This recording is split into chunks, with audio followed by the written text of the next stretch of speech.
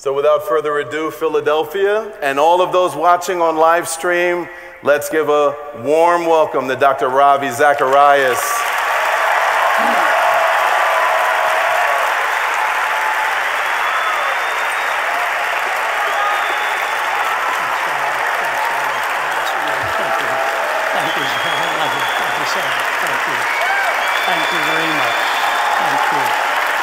Thank you. So much. Please be seated. Thank you. Oh, Josiah, I wish I could have a voice like yours. Well done. Guy has done some work before behind a lectern, I, am, I have no doubt. Aaron, thank you. Thank you for your team. He does an amazing job in preparing for this. Uh, now I can see why Moses said, Here are my Lord, send Aaron. And you, you do a good job in just planning and preparing. Uh, we are honored to be here. It's not too often that I me, and she's here as well, uh, all the way from Atlanta uh, with four with four grandchildren. I lose. Margie is here to join me, and some of my colleagues as well. But you guys make me nervous. You're sitting there in these large numbers, and I wonder why you have come. I don't know if they were giving free pizza afterwards or what. Uh, when I was at your stage in life, the only reason I would go for such an event is that they were giving free food. Uh, first time I ever attended a Christian event, my sister was trying to get me there, and I said no. But she said they were going to serve refreshments afterwards. And so that's what brought me in. I don't know what brings you here, but thank you for coming. I am honored that you will give me a hearing. I will be joined the director of our Apologetics Institute in Atlanta, Georgia formerly a tutor at Oxford, a graduate from not far from this place, did his master's work at Princeton and his doctoral work at Oxford. Vince is an amazing young scholar and part of our team. He and his wife Jo, both of them did their doctoral studies at Oxford. Uh, I co authored a couple of books with him, including the last one uh, that dealt with Jesus among secular gods. So when I finish my talk this evening, Vince will come on, come up to the platform to take your questions. You know, recently, uh, Time magazine had on its cover the lead story, Truth is Dead, which is quite fascinating to me because in the 60s, uh, it was uh, God is Dead on Time uh, cover, and then 70s, Marx is Dead. And then in the 80s, somebody said, God is dead and Marx is dead, and I'm not feeling too well myself. And so it was very fitting now to say, truth is dead as well. Now, the fact of the matter is, if that statement was true, then one wonders what the article was actually about. Uh, Self defeating to the very core. But I want to talk to you a little bit about this subject. Obviously, question could be very simply, if not simplistically, responded to. But we have to navigate our way to wonder and ask how we really got to this place. I remember arriving in the West at the age of 20 in the mid 60s to move to Toronto, Canada. And I watched the culture dramatically shifting before my eyes, so that by the time I finished my undergraduate studies and then did my graduate work, we were living in a very different world. It was during the peak of the Vietnam War. In fact, in the early 70s, I had the privilege of going to Vietnam, even though I was living in Canada at that time, and noticing the anguish of the Western world, wondering why we were involved in those kinds of conflicts at all.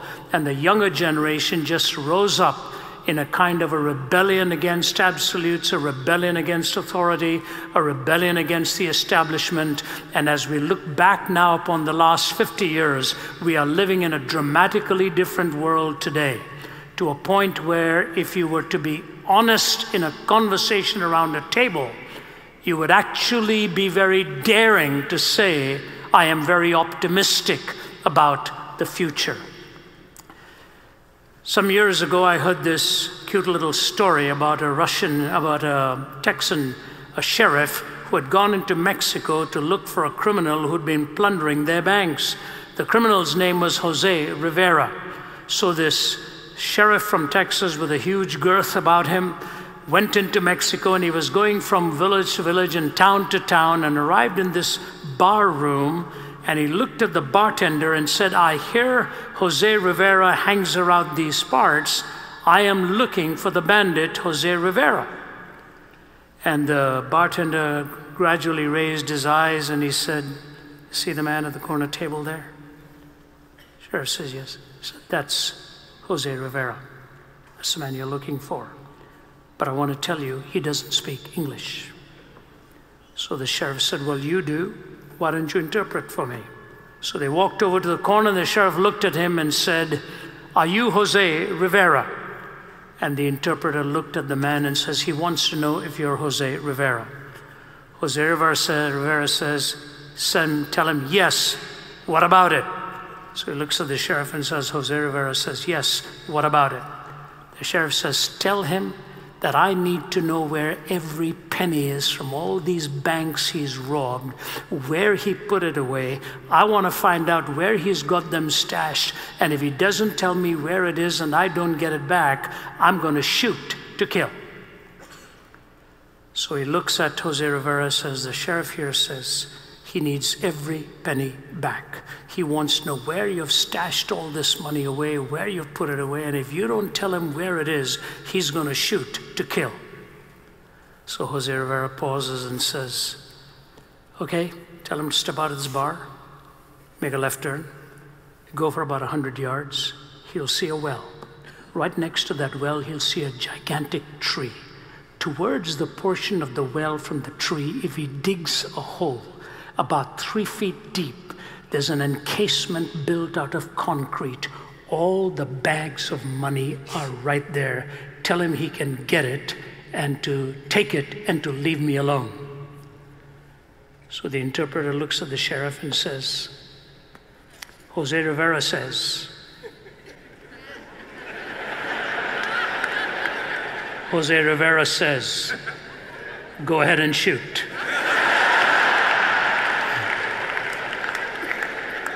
Now, why do I not need to interpret that story for you?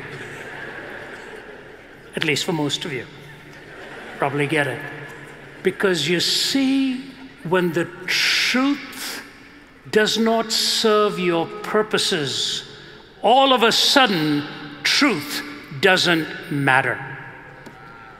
When you're on the wrong end of the stick, and have been told a lie, you want to fight for the truth.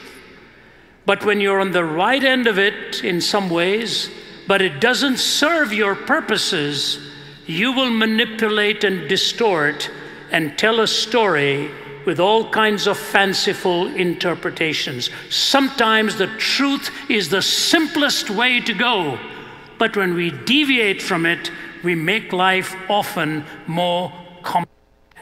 Was it not Aldous Huxley in his book Ends and Means who made comment? I guess the sound seems to go off and on here. Hopefully, you can hear me through the night. Huxley made this staggering comment I want this world not to have meaning. I want this world not to have meaning because a meaningless world frees me to my own political and my erotic pursuits. A meaningless world frees me to my own political and erotic pursuits. I want to read for you a passage that goes back 2,000 years, and Jesus is standing before Pontius Pilate it's an amazing conversation on the question of truth. Everything of politics and ethnicity and racial tensions and religious oppression comes right into this conversation. All the issues that divided people in that day come right into this conversation. Jesus has been brought by the religious authorities, not anybody else. They've brought him because they do not respect or appreciate what it is he's really pointing to about their own hypocrisies and the politicization of religion. So they bring him in, and he's standing before Pilate. Pilate is afraid to deal with it as he wanted to because he's torn between Rome and trying to manage one of these principalities. Here's the conversation. Pilate then, went back inside the palace, summoned Jesus, and asked him, Are you the king of the Jews? It's been very easy for Jesus to answer the question, but he questions his questioner. He says this Is this your own idea, or did others talk to you about me? Am I a Jew? Pilate replied. It was your people, your chief priests, who handed you over to me. What is it you've really done? Jesus said, My kingdom is not of this world. If it were, my servants would have fight, would fight to prevent my arrest by the Jews. But now my kingdom is from another place. Ah, you are a king then, said Pilate. Jesus answered, You're right in saying I'm a king. In fact, for this reason I was born, and for this reason I came into the world to testify to the truth. Everyone on the side of truth listens to me. What is truth? Pilate asked and walked away. Amazing. All the issues that divided them, all the issues that spawned hate. And Jesus' first questioner, question to the questioner, was to cause him to open up within his own assumptions. Whenever you are asked a question, Questioning the questioner does two things. It opens the questioner within his or her own assumptions and changes the entry point of the discussion. That is why C.S. Lewis said, Nothing is so self defeating as a question that has been raised without taking the question itself to its logical conclusion. You see, intent is prior to content. To give truth, said George MacDonald, to give truth to him who doesn't love it is to only give him more multiplied reasons for misinterpretation. To give truth to somebody who doesn't love it is to give them more multiplied reasons for misinterpretation. If you're not looking for the truth, any answer that is given to you will only give you more reasons to misinterpret what it is that has actually been said. I look at the search for truth in a simple one, two, three, four, five grid. One, the ultimate pursuit of your life and my life should be the truth. That's what we really must pursue. Number two, there are two true theories, theories of truth the correspondence theory and the coherence theory. We use this in a court of law every day. Particular questions need corresponding answers that are true. And when all of the answers are put together, you're looking for coherence so that there is no systemic contradiction in what it is that's been said. That's why witnesses are cross examined. They may give a truth here and a truth there, but if they throw in a lot of lies in the middle, it is the task of the lawyer then to dismantle that story and say your answers are incoherent. So there are two complementary theories correspondence for particular statements, coherence for all of the statements ultimately put together. But then we are given three tests for truth logical consistency, empirical adequacy, and experiential relevance. Number one, the pursuit of truth. Number two, correspondence and coherence. Number three, logically consistent, empirically adequate, and experientially relevant. These are classic statements that come together in truth claims. But then you have to ask the question what are the questions the truth claims are really answering? There are four questions origin, meaning, morality, and destiny. Where do I come from? What does life mean? How do I differentiate between good and evil? What happens to a human being when he or she moves on from their earthly existence? Every worldview takes these four questions of origin, meaning, morality, and destiny. And then there are five disciplines that really come to bear metaphysics, epistemology, ethics, anthropology, and ultimately you deal with theology as well. So you've got metaphysics, epistemology, ethics, anthropology, and theology. These five converging disciplines come to bear in the answer of the one question of truth that deals with origin, meaning, morality, and destiny. And by the way, that is why the Greeks formed the universities, because they were looking for unity in diversity, as the diversity of disciplines were answering the basic questions of virtue, value, meaning, and justice. University settings are supposed to be dealing with these issues. What is truth? Correspondence, coherence, empirical adequacy, logical consistency, experiential relevance, origin, meaning, morality, destiny, and the five disciplines that you bring to bear. This is the reality with which we must live and with which we must find our answers. Some years ago, when I was doing a semester study at Ridley Hall in Cambridge, my wife and couple of our children went into the famous court of Old Bailey, where you can come and sit in the galleries and watch a trial in progress. You don't really know what trial you're getting into until you hear some of the arguments taking place. And we were not familiar with the process at all, so we walked into this and we suddenly realized it was a highly contentious trial going on of a man in his senior years who had been accused by two minor girls of raping them. So our younger daughter actually had to leave out of there because she was not old enough to sit through the trial. And as we were watching this, I first cast my eyes upon the man who had been accused of doing this horrific deed. You couldn't really see the girls because they were minors, but you could hear their voices, and the monitors in front of the barristers could be, they could see their faces and they were questioning them. You could hear their very, very young voices.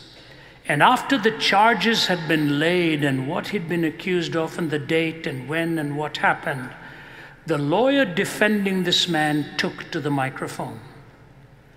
His opening comment was riveting. And he looked at the two girls in the monitors and he said this I'm going to ask you girls to do just one thing. I don't want to make you nervous. I don't want to make you upset.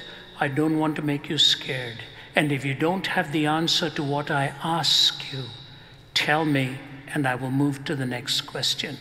But if you answer my question, I just want to make sure of one thing. You tell me the truth. That's all I'm asking you.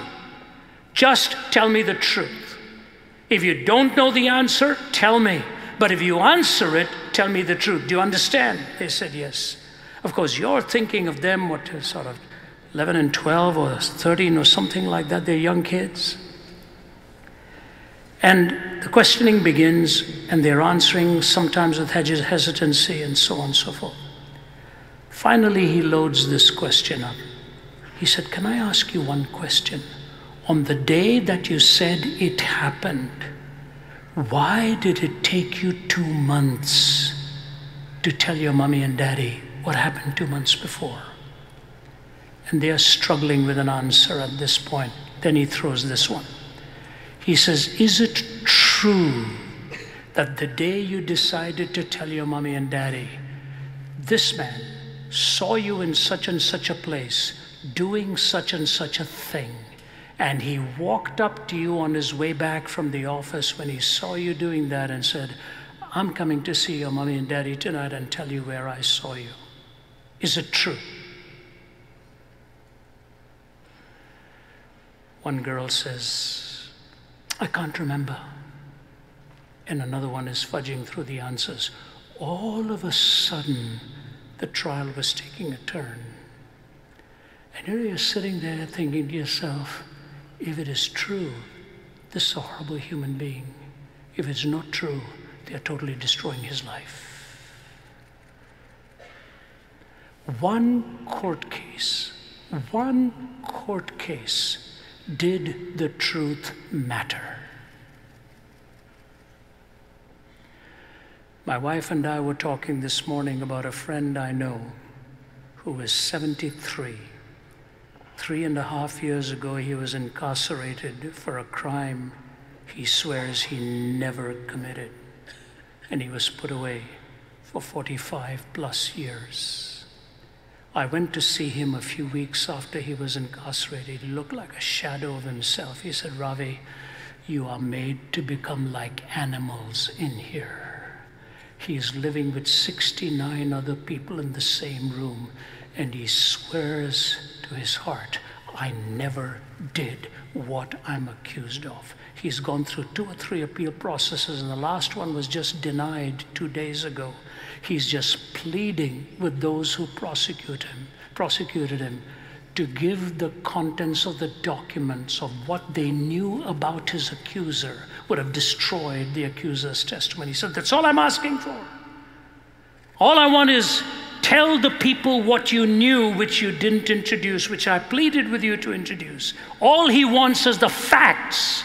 He's not asking for a change in judgment. Just give the people the facts when you're trying me.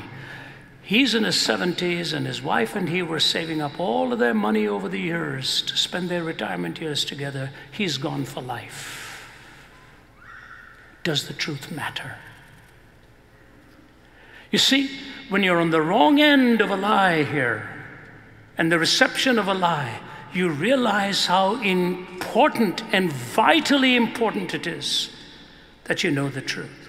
And so, ladies and gentlemen, my one plea to you is this if it matters in the particularity of a court case, how much more must it matter about giving the definition for what life is all about? And that's why Oscar Wilde, on his deathbed, in his 40s, after having lived an indulgent life, looks at his friend Robbie and says to him, Robbie, did you love any one of those boys for their own sake? And Robbie looks at him and says, I didn't, Oscar. What about you? He said, Neither did I. Bring me a priest. All of a sudden, the truth about love came home to a man who was a genius and brilliant in his artistic splendor and he wanted to know the true meaning of love right as he was breathing his last breaths. Winston Churchill said, Truth is the most valuable thing in the world. It is so valuable that oftentimes it's hidden by a bodyguard of lies. It is the most valuable thing in the world, but oftentimes it is hidden by a bodyguard of lies. Natan Sharansky, former Justice Minister of Israel, had been incarcerated in this former Soviet Union.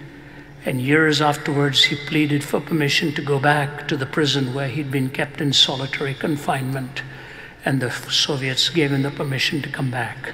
So, as he was about to enter the prison, he put his arm out and told his wife, Please let me go in by myself. I want to go in by myself because that's where I really found myself. I'll let you come in later, but I want to go in alone, where I spent all this time in aloneness. He goes in, and when, he comes out of there with the tears running down his face, he asked to visit the grave of the Soviet physicist Andrei Sakharov, who gave to the Soviets the atomic bomb. Of all the places he wanted to go, he asked for that grave site. So he goes over to the grave site and he lays a wreath there. And there's a battery of microphones waiting, waiting for him, asking him why. And he says this He says, Sakharov gave to you all the atomic bomb. But before he died, he made this statement I always thought the most powerful weapon in the world was the bomb. I have changed my mind. The most powerful weapon in the world is not the bomb, the most powerful weapon in the world is the truth. Today, the Soviets voted a no in the resolution to condemn the use of chemical weapons in Syria.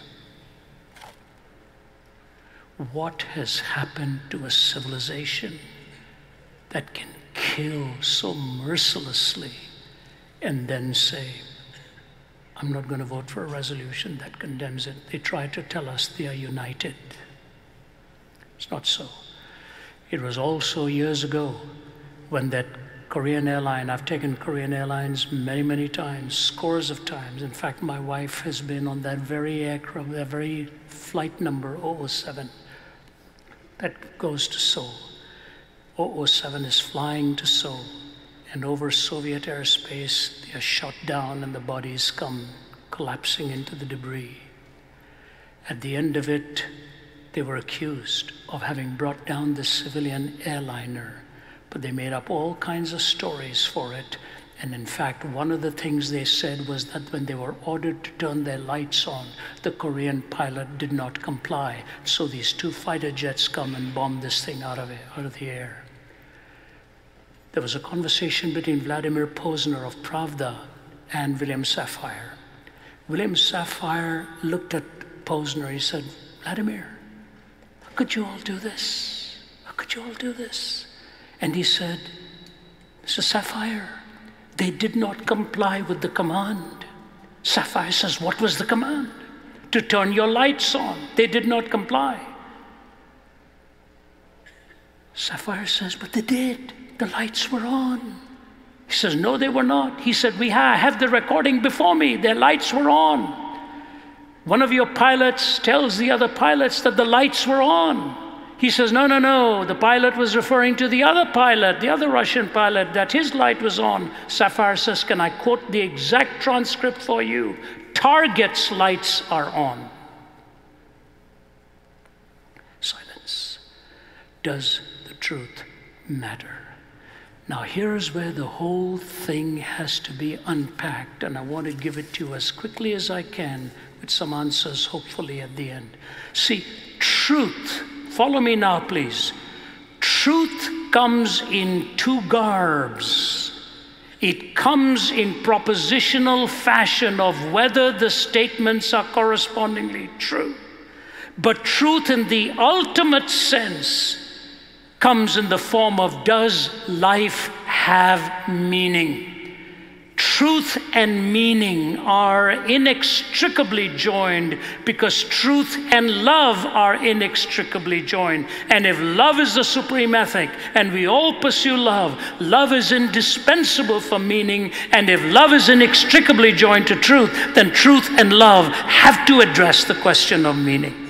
Malcolm Muggeridge gives us these two nuances of thought Listen to them. One from his book, The Green Stick, A Chronicle of Wasted Years. And he was a journalist talking. Truth is very beautiful, more so I consider than justice, which is today's pursuit that easily puts on a false face. In the nearly seven decades I have lived through, the world has overflowed with bloodshed and explosions whose dust has never had time to settle before others have erupted, all in purportedly just causes. The quest for justice continues and the weapons of hatred are piling up. But truth was an early casualty. The lies on behalf of which our wars have been fought and our peace treaties concluded. The lies of revolution and counter revolution. The lies of advertising, of news, of salesmanship, of, po- of politics. The lies lies of the priest in his pulpit, the professor at his podium, the journalist at his typewriter, the lie stuck like a fishbone in the throat of the microphone, the handheld lies of the prowling cameraman. Ignatius Silone told me once when he was a member of the old Comintern, some stratagem was under discussion, and a delegate, a newcomer who had never attended before, made the extraordinary observation that if such and such a statement were to be made, it ought not to be made because it wouldn't be true. There was a moment of dazed, stunned silence. Then everyone began to laugh. They laughed and laughed until tears ran down their cheeks and the Kremlin halls seemed to shake.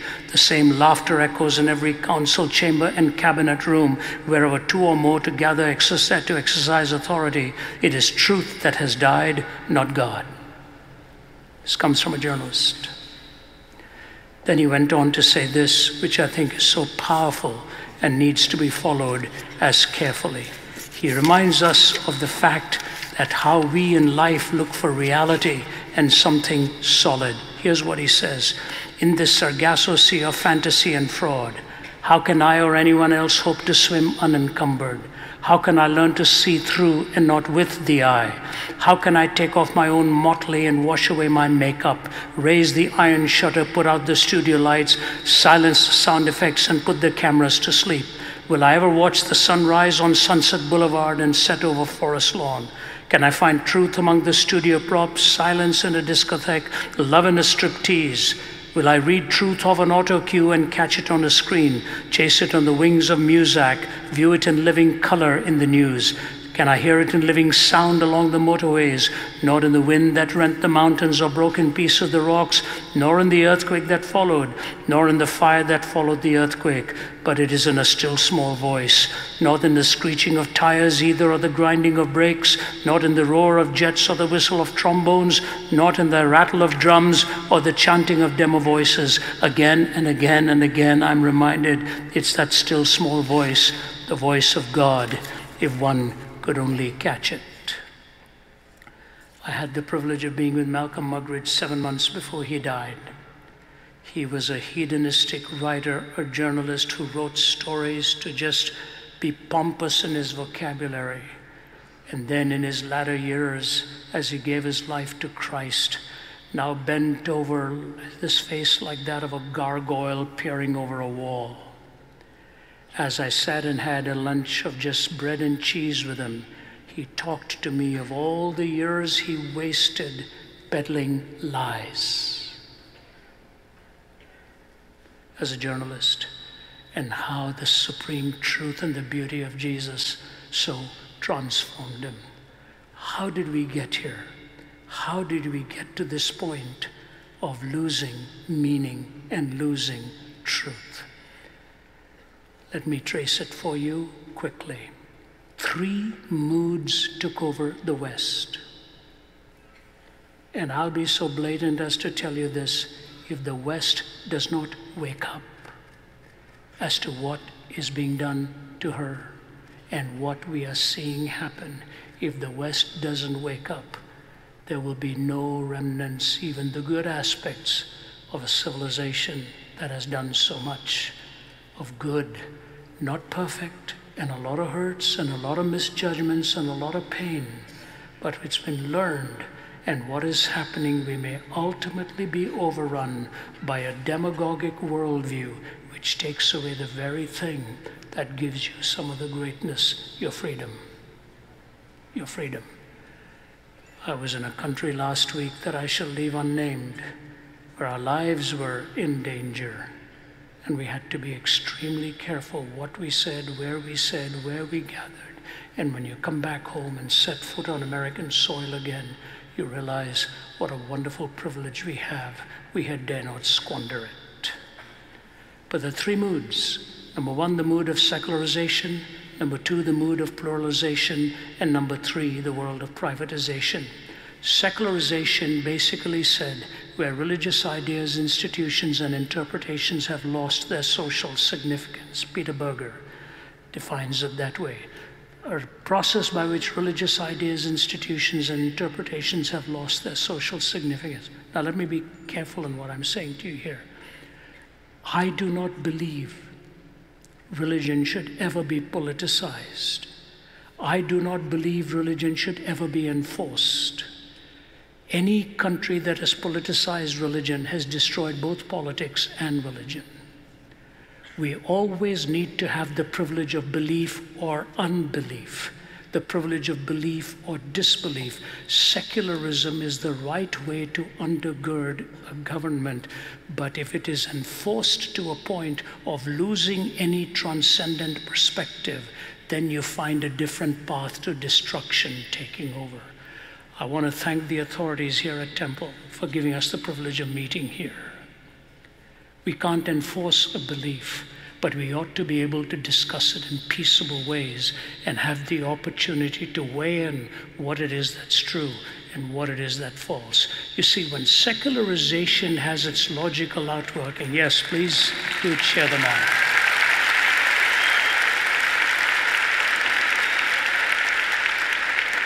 Our universities will be great if they allow this cordial debate, if they allow the freedom to express and let intelligent people make up their minds in the process. But if secularization takes place to a logical outworking without any transcendent perspective, what you end up losing is an absolute definition for what life is all about anyway. And what happens when those definitions are lost, there's a blurring of distinctions. What do I mean by that? You see, right from the beginning of the story in the Genesis narrative, there was only one law, only one law. That law was do not eat of the tree of the knowledge of good and evil. What does that mean? Don't play God. Don't play God. You cannot be the ultimate source of the defining of good and evil. And what happened? The temptation comes, and God says, In the day you do it, you're going to die. And the tempter says, Uh uh-uh. uh, in the day you do it, you're going to be as God. Why don't you be God? And the moment they took upon themselves the prerogative of defining right and wrong, good and evil, the collapse began. Today we need thousands of pages just for our health laws. For life itself, there was only one law. But for our health laws, we need thousands of pages. Why? Because every statement can die the death of a thousand qualifications. Three of your students here yesterday had a home invasion take place. And one of them says, I was absolutely terrified. One with a gun to the head, another with a knife to the back. See, lawlessness is a horrible thing. Violence is a horrible thing. And when you change definitions, what actually happens, you cannot define anything with certainty anymore when a famous trial was held in Atlanta, Georgia, for a pornographic entrepreneur. They said his pornography was so vile, so vile, that it made Playboy magazine look like a child's magazine. But when those who were witnessing against that magazine were questioned by the lawyer defending the pornographic producer, he looked at the witnesses and asked them this question have you ever been to an art gallery? Yes. Have you ever been to an art gallery where there are painting by the, paintings by the grandmasters? Yes. Have you ever been to an art gallery paintings by the grandmasters of disrobed people? Yes. Would you please tell this jury why you call that art and you call my stuff pornography? The lawyer was clever. I'd just like to ask the lawyer how many people he's seen whose marriages are broken because one partner used to go to art galleries.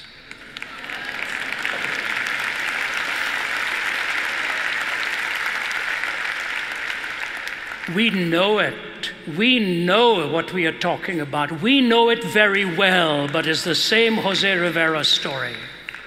We don't come right out and talk about the seduction of that which could break my heart and break the heart of my family and break my bank and break my home.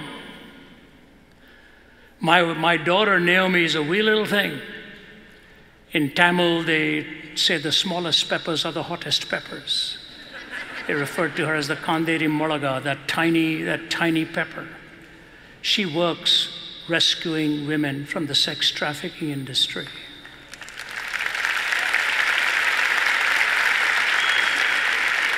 She's gone to the brothels in some countries I cannot even name for you, and she doesn't even tell me when she's going there. One day I looked at her and said, Why do you do this? She said, Dad, when we were young, you were going to dangerous places. We asked you why you did it, and you told us we had to trust God. It's your turn now.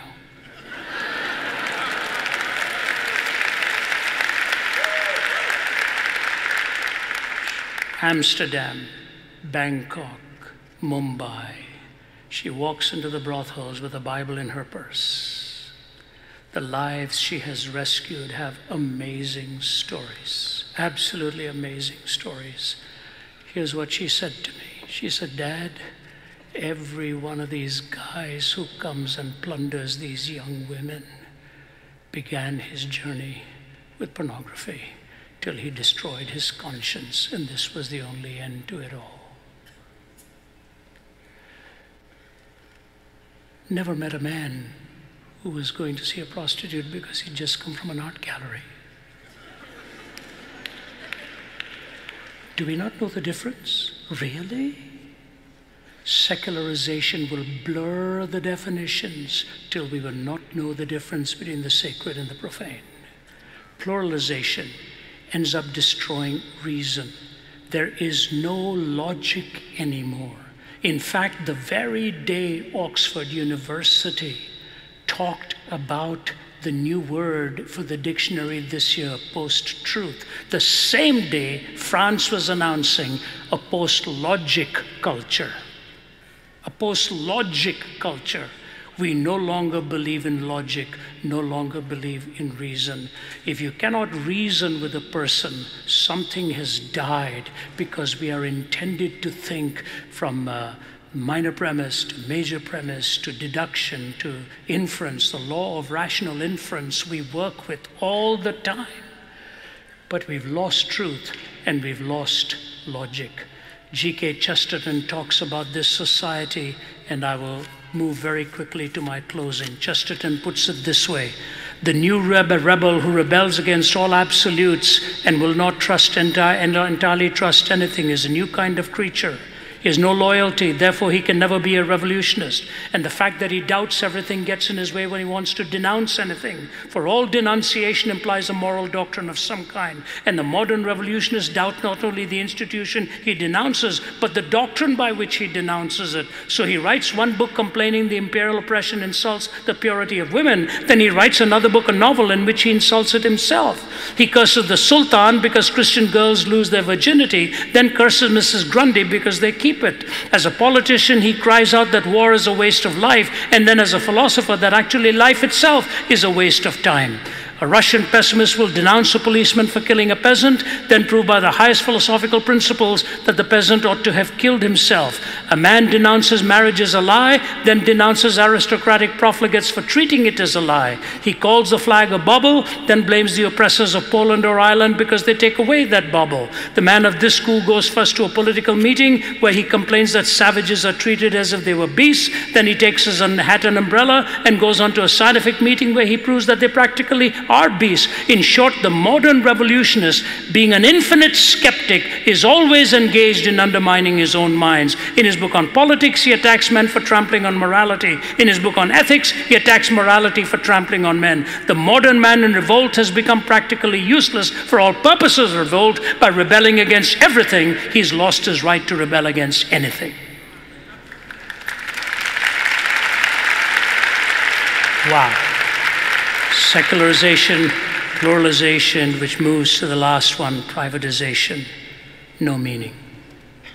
No meaning. Because we sever the connection between the public and the private. We sever the meaning between the public and the private, and life becomes fragmented. Today, I got a message from a friend through another friend. I've only met this friend for 45 minutes, the, their other guy, and he contacts somebody I've known. He's in the sports industry, thick into sports. And he phones this friend of mine and said, Would Ravi be willing to call me? I said, What's going on? His 16 year old daughter today tried to take her life and almost succeeded he's there as a single dad watching his daughter in this situation.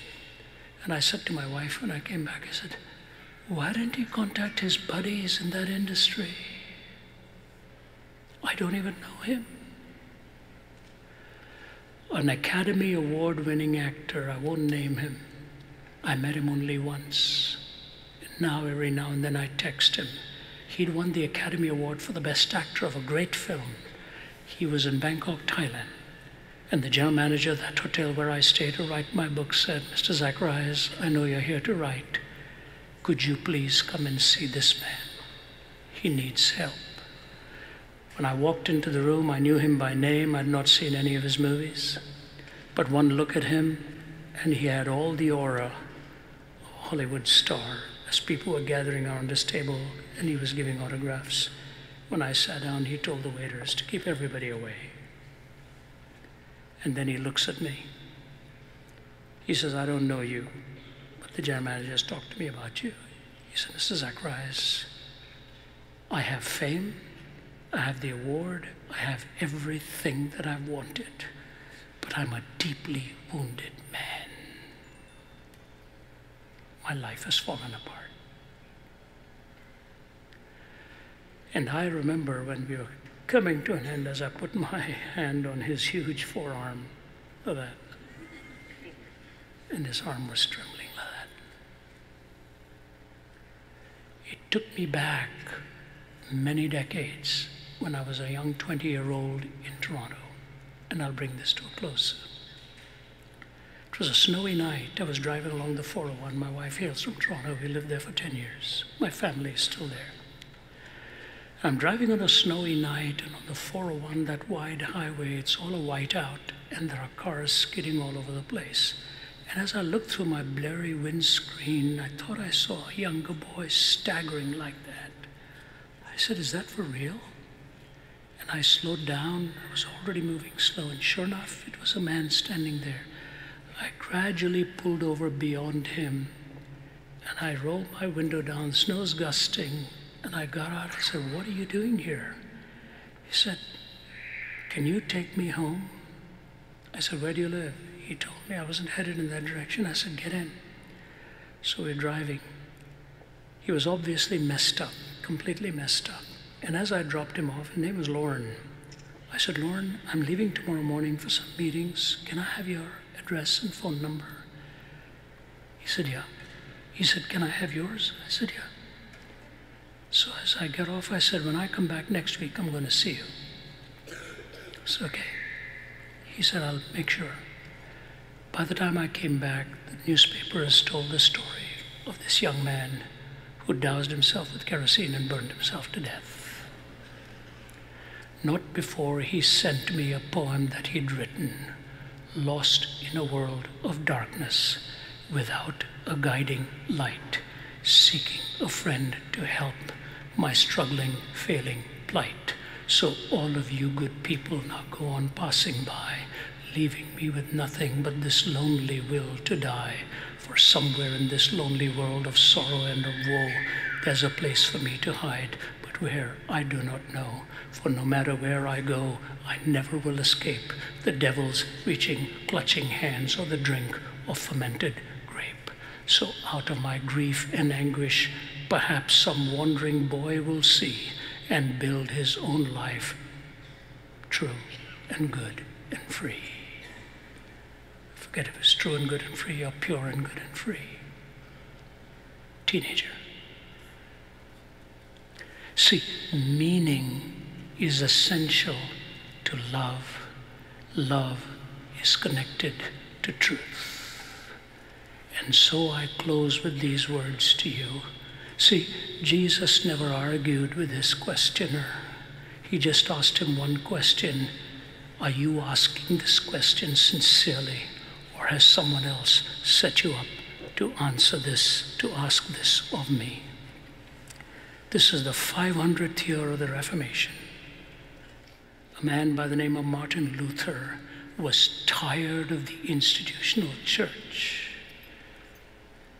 And as he and a young man by the name of Philip Melanchthon were reading the scriptures, they realized the problem was not out there. The problem is always in here. The problem is not with the Soviets or others. The problem is in your heart and mine. Matthew Paris, who's an articulate writer in England with a lifestyle very different to mine, with a philosophy very different to mine as an atheist, he wrote an article said, I am torn as an atheist writing this. I'm torn because I don't want to say it. He said, I went to Africa and I came back and I watched what he was, he grew up in Africa. He said, I watched what was happening in some of those towns. It was not that they needed more NGOs. And Matthew Paris said this what they really needed was the evangelistic message of the gospel for a changed heart. He said, I'm shocked at myself saying this. What they need is the evangelistic message of a changed heart. The gospel message of Jesus Christ is the only one that takes you away from looking outside and starts you from looking within. And Jesus changes that.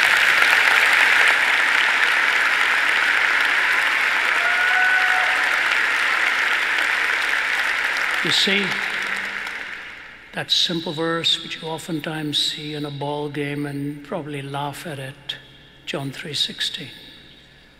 What does it say? For God so loved the world that he gave his only begotten Son, that whosoever believes in him should not perish but have everlasting life. 32 to 33 words. Let me summarize it for you. The starting point is filial. You have a heavenly Father. The goal is relational. He offers to be related to you. The range is eternal. The offer is both conditional and unconditional. He loves you as you are, but asks you to believe and trust. And the foundation is legal, filial, relational, eternal, conditional and unconditional, legal. God so loved the world that he gave his only begotten Son, that whosoever believes in him should not perish but have everlasting life.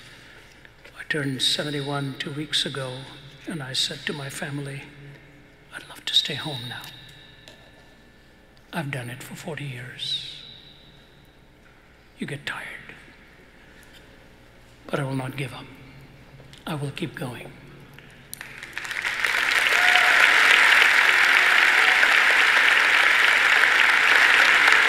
And I will keep going because of young men and women like you, whom I meet wherever I go, and see your lives changed and transformed.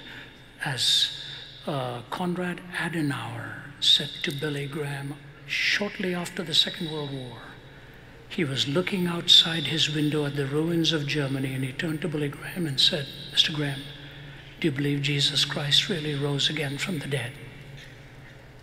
Billy was shocked. He said, Mr. Adenauer, if I didn't believe in that, I would have no gospel to preach. Adenauer paused and he said, Mr. Graham, I just want to say to you this outside of the resurrection of Jesus Christ, I know of no other hope for mankind.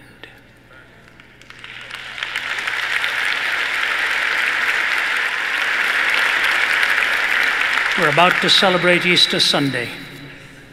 I hope some of you will get to meet the resurrected Christ and know that He's the one. He's the one who brings meaning.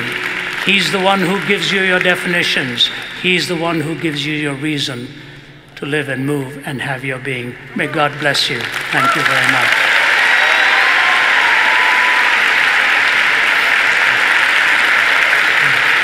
God bless you. Thank you. God bless you. You want me to stay here? Thank you so much. Please, one more time. One more time.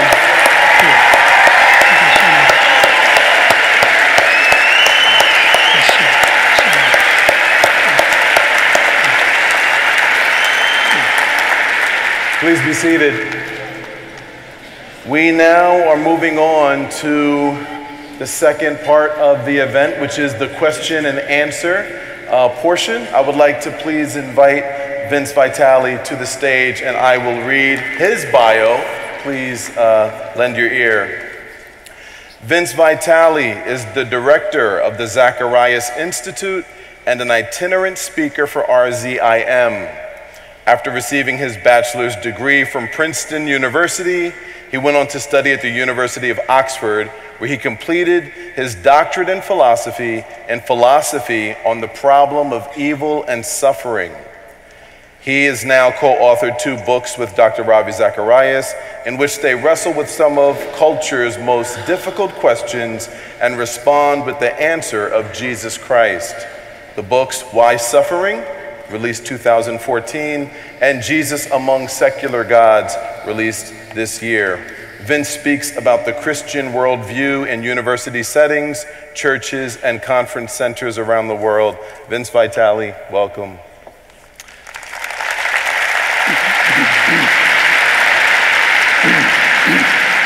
So, with the question and answer portion, uh, we have some rules. Uh, and we all want rules, don't we? We appreciate them. Um, we ask that your questions be clear, concise, and related to the topic. uh, of what's been presented this evening. Uh, we are going to give priority to students and to skeptics to come forward. Uh, and we would invite you to approach the microphone. Uh, you can come from whatever direction, having now understood the rules. Clear, concise, and related to the topic of this evening. Priority given to students, our future leaders, and to skeptics. Uh, you can now make your way down to the microphone. Uh, you will present your question, uh, and then an answer uh, will be provided from either Dr. Ravi Zacharias or from Vince Vitale. And one question per person, please, or we'll never get out of here. Yes, and, and one question per person. Clear, concise, and related to the topic. Good evening. Uh, my name is Ijama. I am a student at Drexel University. And, and so my question was about your comment on, you know, separating religion and politics. So um, if we're to separate those two things, how do we make laws on things like abortion? Should it be completely secularized in the laws that we make, or should it be founded on America's Judeo-Christian beliefs? I think that's a great, great question and a very, very tough one. And uh, let me do my best to answer it. And Vince can feel free to add it as well when Paul was heading to Rome, and uh, many were dissuading him from going there because they say they would finish him off. He said, I'm going to claim my right as a Roman citizen. I'm going to claim my right as a Roman citizen and argue my case as a citizen of Rome. He didn't say, I'm coming from the church that I planted. He didn't say, I'm representing all the churches that I've planted. I'm coming as a citizen of Rome to claim my right. What happens in a world with so many mixed views today, especially pluralization, where there's a competing number of worldviews available to its members? We ought to speak on these issues as a member of society, as a member of a community, as a member that gives me my right to argue for the child and the unborn and the weak and the most victimized. But if I come speaking because I represent the evangelical church or the Protestant church or the Catholic church or whatever it is, you end up all of a sudden getting people to fight against an institution. I think we must speak what you're saying, and so we must speak our conscience and our conviction and why. And the secularist who tells us we are prejudiced and subjective is just plain wrong. No more subjective than the secularist is going to be. The secularist is also speaking very subjectively. We speak from the objective viewpoint that life has intrinsic worth and intrinsic value, not extrinsic worth conveyed by state or society, but intrinsic worth. We talk so much about human rights, we have forgotten about the right to be human. And so, so your, your point is very well taken. I commend you for thinking about that. I just think you speak as one who has a coherent worldview as to why this issue is important, not representing an institution, but representing the absolutes that have built your life, the absolute of dignity, of essential value, of life, of marriage, of home, and of the future. You know, you raise a question right now that is going to have ramifications 10 to 20 years down the line. We're going to find out. Because a worldview is in place right now that seeks to dominate the world. And one of their methods is by raising huge families, you ultimately outnumber the opponents and the opposition. Wouldn't it be ironic that a worldview that has raised huge families is then overpowering one of a worldview that didn't even value its children? Then we see why we have been overrun. We will only be defeated if we lose our moral strength and our moral basis. We will not be defeated because of politics or military power. We can be defeated if we lose our moral framework. So speak with moral conviction and clarity, but always with love.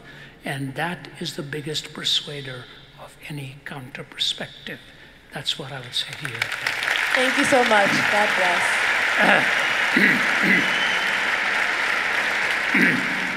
I'll add just a quick affirmation of what Ravi's already said to your point, but first, just thank you all for uh, having me and uh, giving me your ear during this time of question and answer. I read somewhere that the number two fear in the world is death, and the number one fear is public speaking.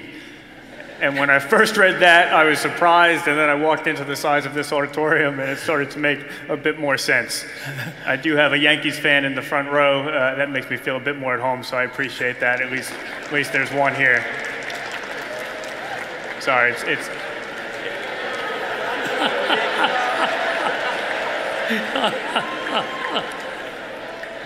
it's my dad's fault. It's not my fault. Just a quick affirmation uh, of what Ravi has said to that point. You know, we all take our political starting point. We go right back to the Declaration of Independence that all people are created equal. And if that is the starting point of any plausible morality, that every single person has an equal value, that their rights are universal, inalienable, and equal, well, then there has to be something about every single human person, which hmm. is in fact equal and which is completely unchanging. And so my question would just be what is it? What is it about you and the people sitting next to you and every single person that's completely equal and completely unchanging? If you have a naturalistic worldview, it is really hard to answer that question. Anything naturalistic is along a spectrum some are more or less intelligent than others. Some are more or less happy than others. Some are more or less good at passing on their genes than others. What is it that is equal and undeniable and constant for every single person? And I think the only answer to that question is the love of God. The love of God is the only thing about you. It's the only thing about every one of us which is absolutely equal for every single person and which cannot change no matter what. It cannot be earned and it cannot be lost. So, just to affirm what Ravi has said, as we get into political discussions, let's let that be our starting point. And let's not be afraid to ask that question. Because if we're all agreed that that should be the starting point, we should be able to challenge people and ask that question what is it that makes you and me and every single person absolutely equal. What is equally true and constant and cannot be lost about us, which grounds all of our political convictions. And hopefully that leads to some good conversations.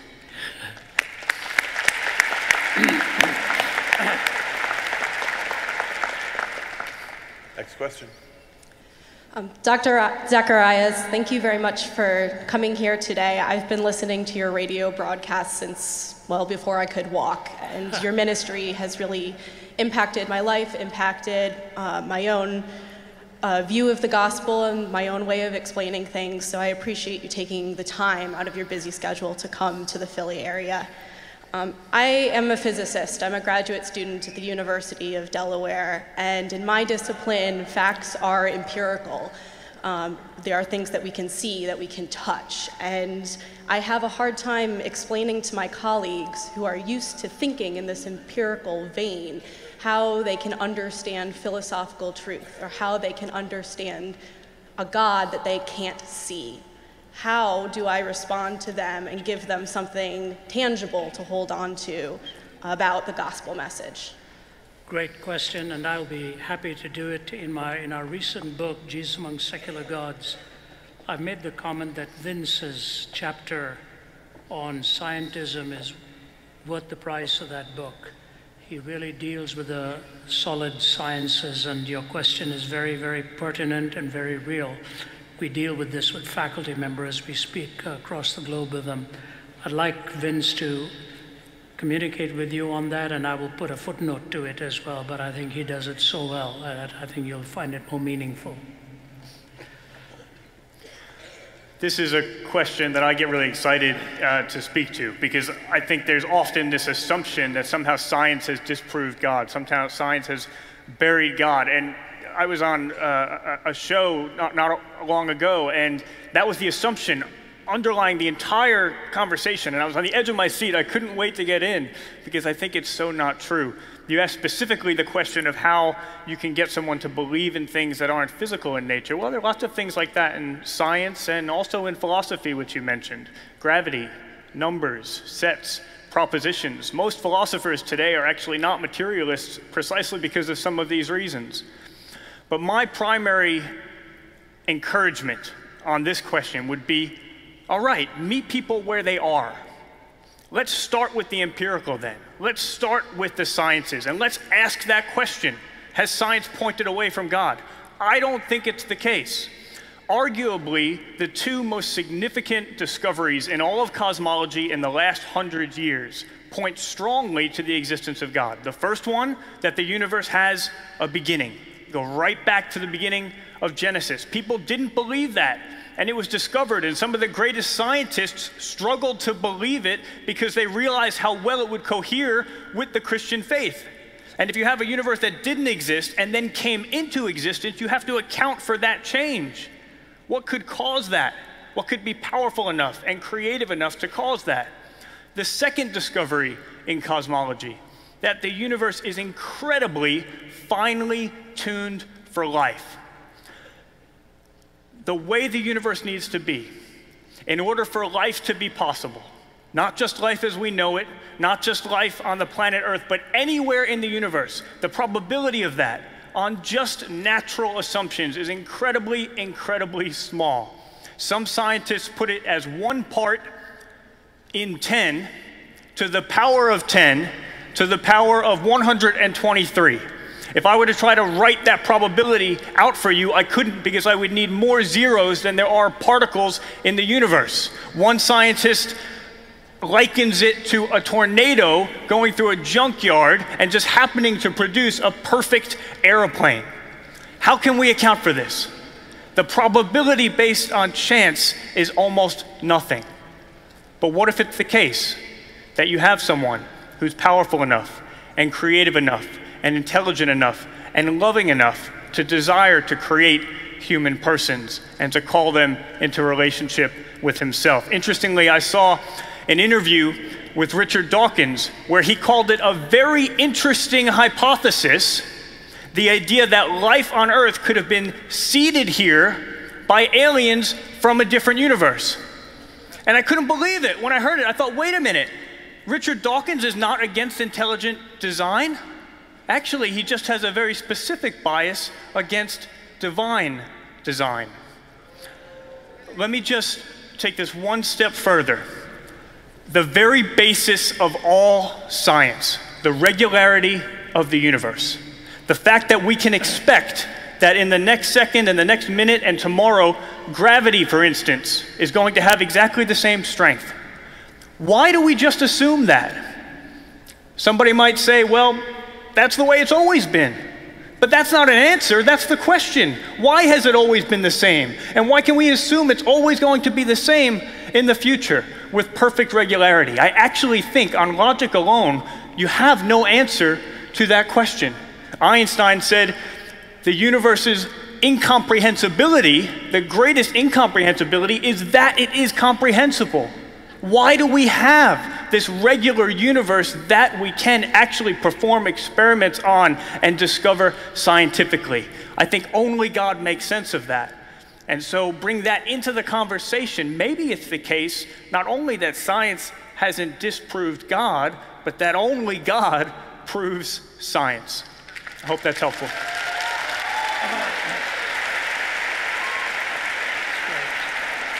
Just want to I just want to add a brief footnote to that because in my semester at Cambridge, I had two very interesting faculty members. One was Don Cupitt, who was an Anglican priest turned atheist, and uh, Don, John Polkinghorne, who was a scientist who was an atheist turned Christian. And John Polkinghorne was one of the leading quantum physicists of his time, remarkable professor. I'm sure you would know the name. And what I came to the conclusion about Ultimately, it's not so much about the evidences, it's the willingness to go where the evidence leads. If you're really willing to go where the evidence leads, and if it calls for humility and the bending of your knee, the difference will actually and ultimately come there. You see, in the sciences, as a physicist or as a lab technician or whatever, science can tell you what happens when this is joined to that or when this is added to that. Nowhere in science does it tell the technician that they must tell the truth. That's not a scientific imperative, that is a metaphysical imperative. So immediately when you move to the sub, move in from science into metaphysics, you come into the real world of why you love your children, why you wish to be loved, and why the truth matters. Nicholas Wolterstorff, marvelous professor from Yale, after he lost his son and it crushed his heart, made this incredible comment when we have overcome absence with phone calls, winglessness with airplanes, summer heat with air conditioning, when we have overcome all these and much more besides, then there will abide two things with which we must cope the evil in our hearts and death. The answer to those two will not come from science, it comes from knowing the very creator of the universe who explains your heart and raised his son from the dead for you and for me. Okay.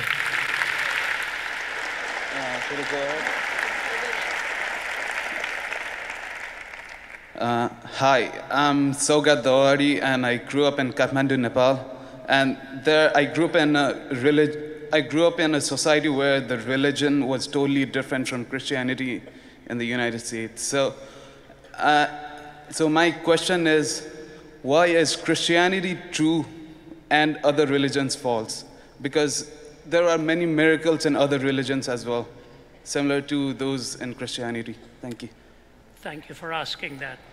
Uh, where in, you come in? You come from Nepal? Yeah. I see. How long have you been here? Seven months. Wow. You're yet to be born. Two months more to go. or I'd been born for 19 years. yeah, that's great.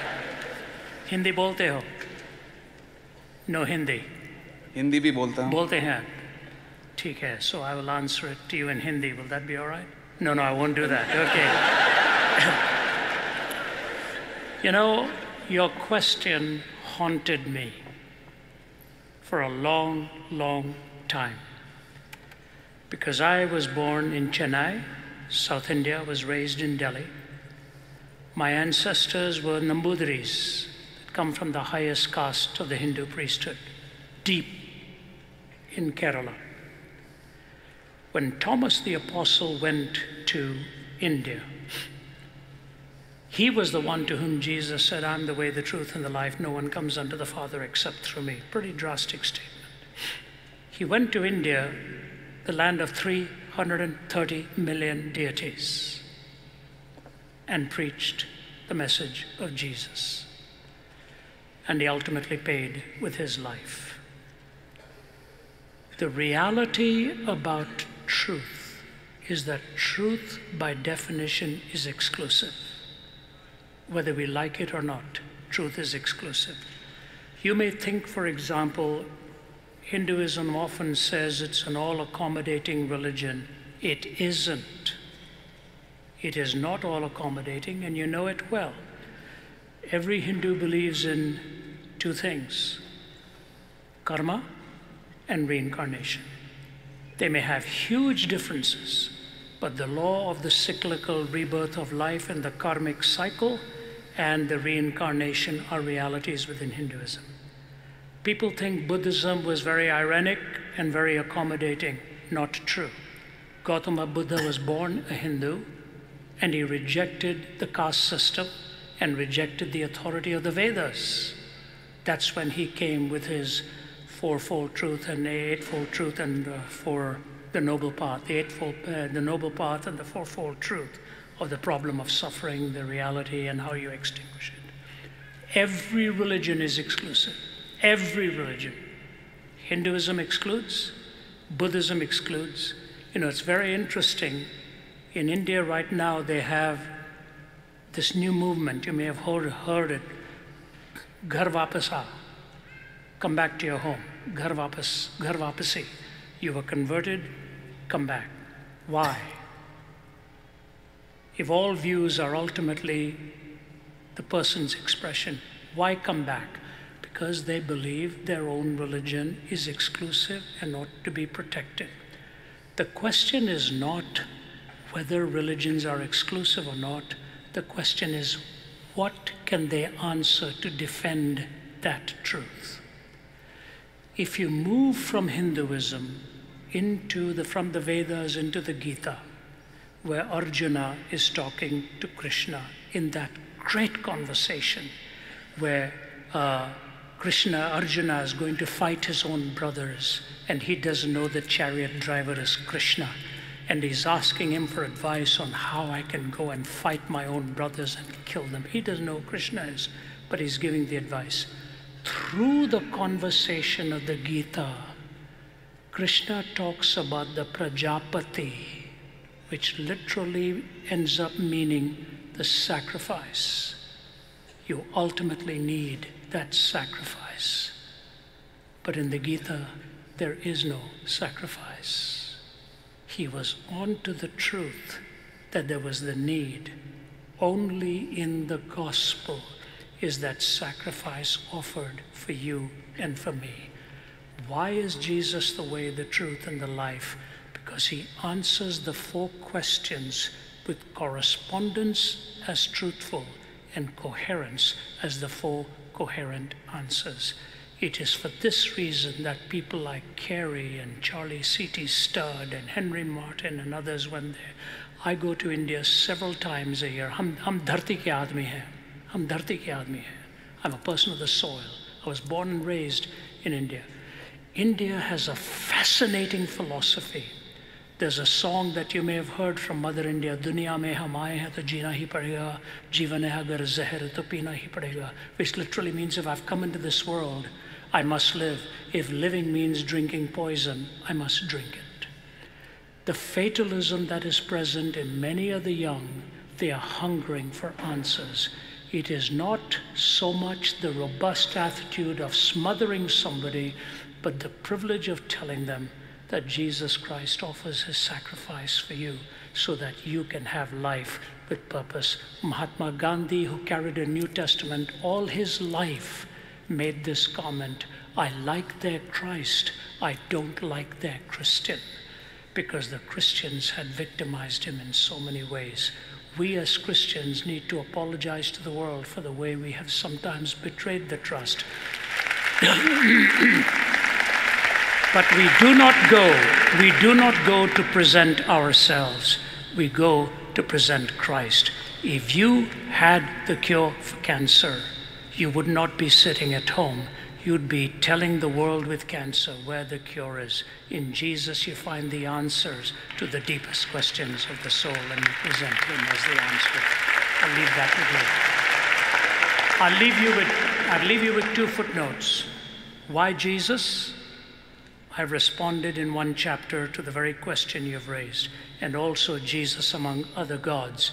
You will see the coherence of his answers. All religions claim exclusivity. I believe in Jesus. You see the reasons for that exclusivity because he describes my condition, provides for the malady, explains suffering, teaches me what the cross is about, and rose again from the dead to give me eternal life. That is what I present to the Indian people, and I hope you will follow those teachings too.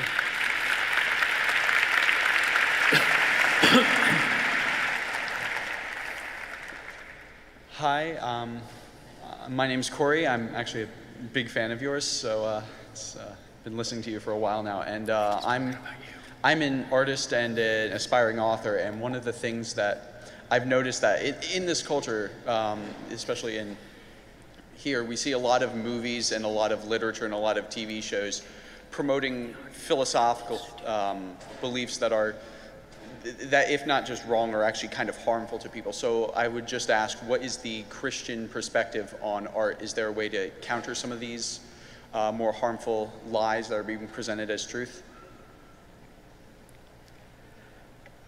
I'll do a brief answer and Uh, Vince will tell you what we are doing with the whole world of art in the Institute. Uh, it's amazing these steps we've taken. I think it was Dostoevsky who said, first, art imitates life, then life imitates art, and finally, life seems to find the very reason for its existence in the arts. Uh, if that happens, it's a sorry end. Art is a glorious expression. We, we my, my daughter, wherever she, she's just come back from Paris, my oldest daughter, Sarah. She could spend every day in a museum of this world examining every piece of art she sees. She loves it. Uh, I'm more into the performing arts than the fine arts, but certainly I enjoy the best of mu music and the best of what the artistic world does. See, worship brought art into it, music. And if you go to Rome and anywhere, you see the glorious expression of the artists from the Renaissance and uh, how they glorified God with their work. For the Christian in his or her life, the parameter is very simple. Worship the Lord in the beauty of holiness.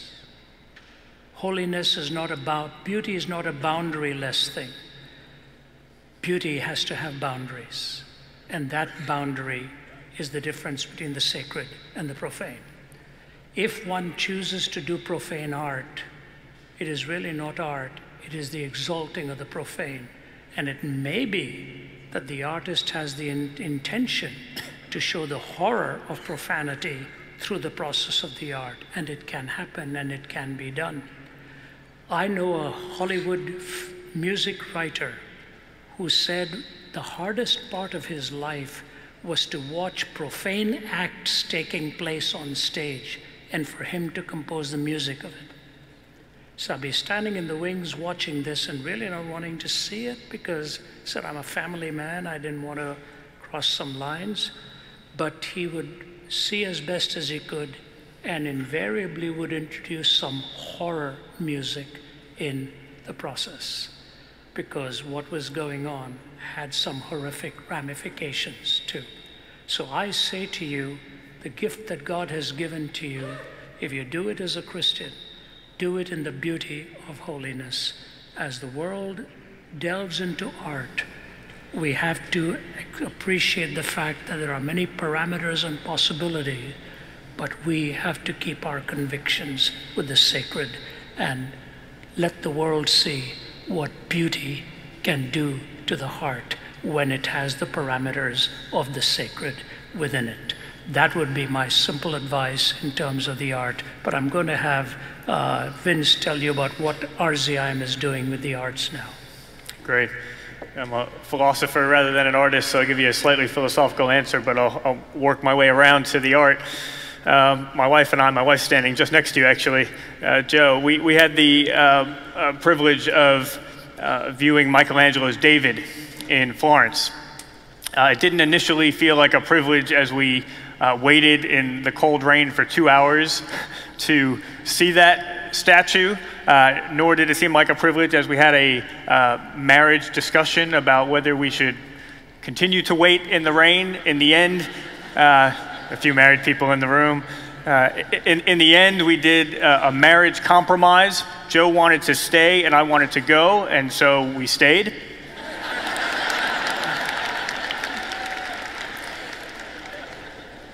but this is my point.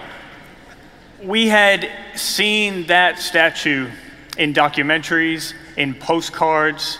That's why I thought, let's leave. We've already seen it many times. But when we saw it in person, we knew something. We didn't just experience something, but through that experience, we knew something about the beauty of that piece of artwork that we couldn't know through just hearing friends tell us about it or through the postcards or through the documentaries. In philosophy, we would call that non propositional knowledge. But it basically means it's experiential knowledge. It's knowledge that you can only know in full by truly experiencing it. And I think knowledge of God is like that as well. I sometimes think about thinkers, feelers, and doers. You meet different people in life. Some people want to know the evidence. Show me the evidence. Some people want to know if this is true to my experience. Other people want to know they're doers. Does this work? Is this going to make a difference in my marriage? Is this going to help me to sleep at night? You know what? All three of those are good reasons to initially be interested in God and to seek God. And ultimately, God wants us to love Him with our whole selves, including each of those arenas. But the arts are so important because they sometimes allow us a direct route to truth that doesn't always have to go through philosophizing. And that, I think, is very important. Sometimes people are in a place, I was in a place in my college years where I had erected philosophical barriers to God. If I'm honest, because I wanted to be my own God. Nietzsche says, If there were gods, how could I bear not to be a God? That was a line that I resonated with. But the arts were a way where I couldn't help but recognize the beauty and the transcendence that was apparent in the world. And that pointed to me to God in a time of my life where it would have been very difficult for me to purely philosophize myself towards Him. That's why, as a ministry, we are so committed to the arts. Great friend of ours, Emmanuel Lambert, uh, is in the audience tonight, who's an award winning rapper. And our, it for Manny.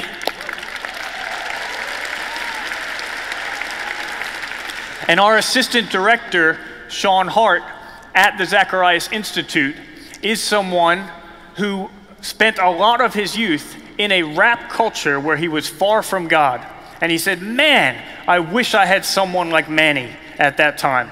Because Christian artists at that time largely had just withdrawn from that culture. But what that meant was not just withdrawing from the art, but withdrawing from the people who were interested in the art including my friend Sean. So I think we need to do good art, we need to do faithful art, but we need to engage in these cultures because not engaging is not just not engaging in the culture of art, but it's not engaging in the people who love that type of art, and we want to love every single person. I hope that's helpful. Very much so, sir. Thank you. Next question. Hi, my name is Jackson. I'm a student at Penn, uh, freshman. And my question is if we as finite beings spend our whole life searching, we basically can only scratch the surface of all the information in the world. So, how do we find truth in, in that pursuit? Very, very great question. And by the way, one more thing I should say our new Institute of Apologetics in Atlanta has an art gallery in there, and where we hope to do some wonderful displays of fine artists. That has already begun. You go on our website and you'll find it.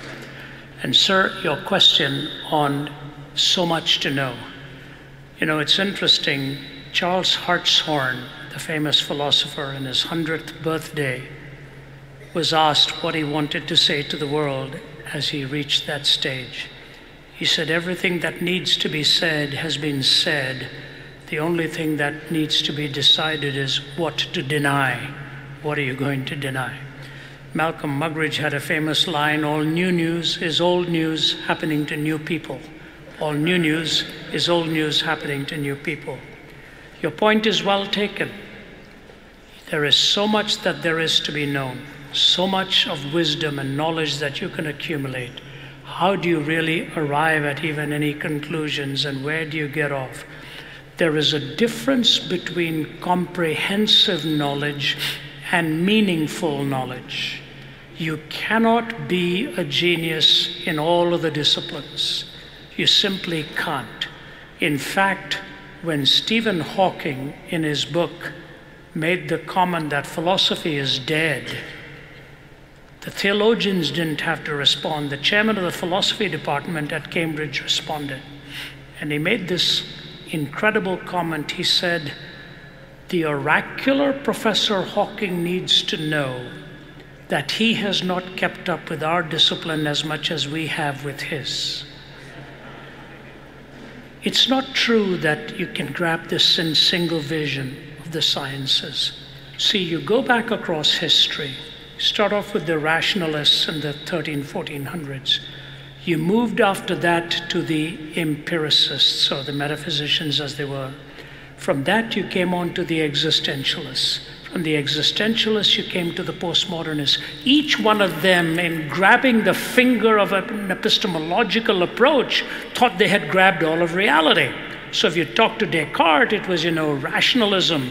If you talk to Hume, it was empiricism. If you talk to Camus or Sartre, or it was existentialism. You talk to Derrida, it is postmodernism. The mistake they made is in grabbing the finger of one discipline, they thought they had grabbed onto the fist of reality. All of these disciplines have their places.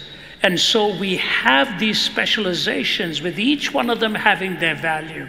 That's why I think the Christian faith has such beauty to it. We want a faith that is rationally tenable. We want a faith that is existentially relevant. We want a faith that is empirically also verifiable. But also in postmodernism, we want the community of believers in the process. So make the distinction between comprehensive knowledge and meaningful knowledge.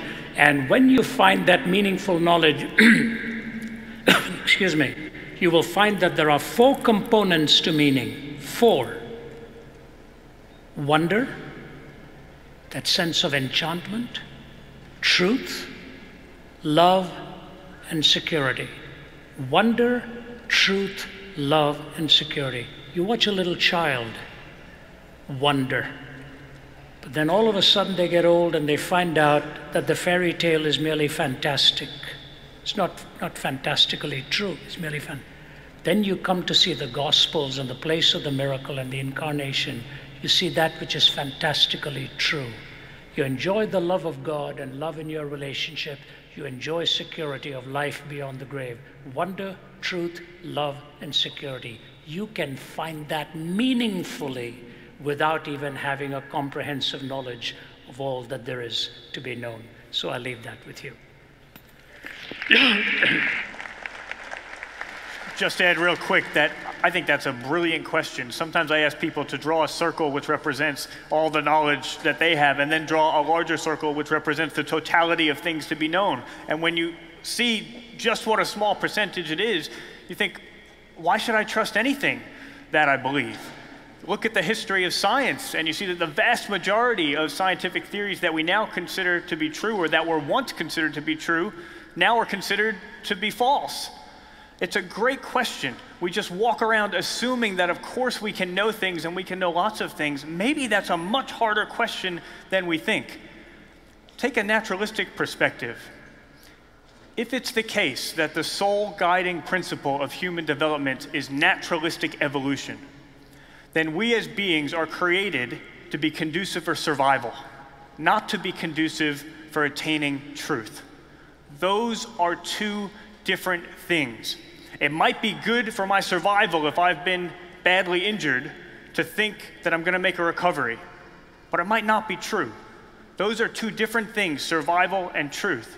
And from a naturalistic atheistic perspective, to think that our brains are wired to give us the truth is like stepping on a scale and thinking it's going to tell you the time. A scale is not intended to tell you the time. That's not what its purpose is. And from a naturalistic evolutionary perspective, we as beings are not intended to produce truth, we're intended only to produce survival. So I think you've asked a brilliant question, and I think as you burrow down deeper into it, we're left with a really frustrating dilemma. How can we know anything? Maybe in your question is a pointer to the fact that if we are to know anything, small finite beings that we are, maybe it has to be because there is truth that has been revealed to us by someone who is much more knowledgeable than we are, who doesn't just know that small percentage of the circle, but who knows and who, in fact, is the totality of all knowledge. So it's a great question, and I think it points to a religion that includes revelation of one who is true.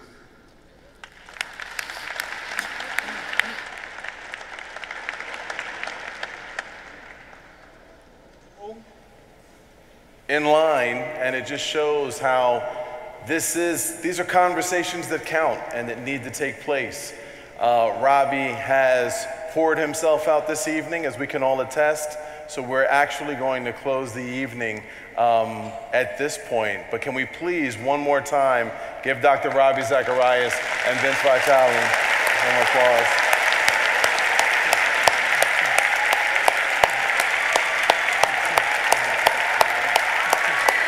Thank you so much. If I may, thank you so much.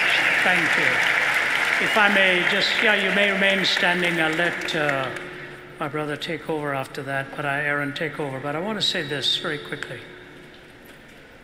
What would be the one goal that I think that could accomplish something for your life here tonight? There was a music group called the Moody Blues that said this Why do we never get an answer when we're knocking at the door with a thousand million questions about hate and death and war? Because when we stop and look around us, there's nothing that we need in a world of persecution that is whirling in its greed. Why do we never get an answer when we're knocking on the door? There's the artist for you. And then he says this I'm looking for a miracle in my life. I'm looking for someone to change my life. I was 17 years old on a bed of suicide in Delhi. I'd given up, completely given up. When a, when a person brought a Bible into my hospital room, I didn't own a Bible, I'd never opened the Bible. And he turned it to John chapter 14.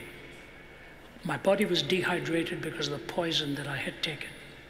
I couldn't lift my hand to hold the Bible. I needed my mother to hold it for me. And then she read it to me. And to you students, I want you to know I was a young student then. And I'm on the verge of, die, of death.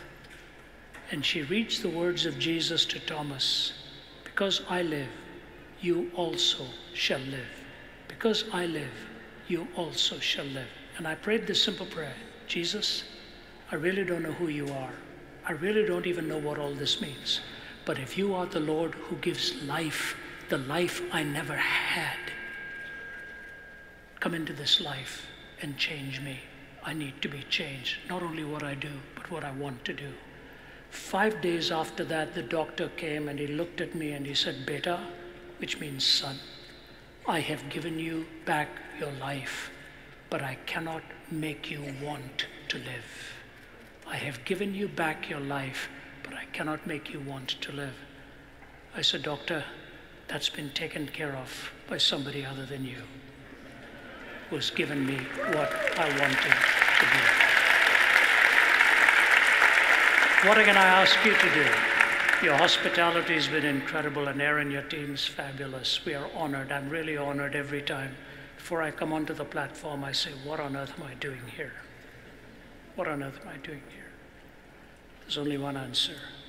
I'm here to tell you that in the person of Jesus Christ, take away all your prejudices, go back home, start reading the Gospel of John, and with a simple prayer, just ask the Lord Jesus if he is who he claims to be to reveal himself to you. If we at our office can be of any help and they more can, we will be glad to help you. May you find him to be the way, the truth, and the life. Because he lives, you also can live. God bless you. Obrigado.